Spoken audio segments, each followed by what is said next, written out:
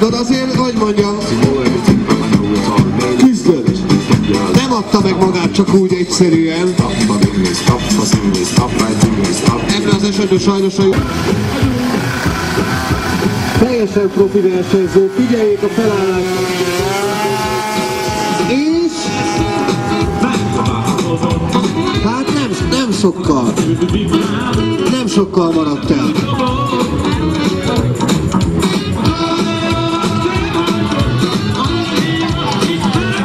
a mai napon bármilyen motorra rajt.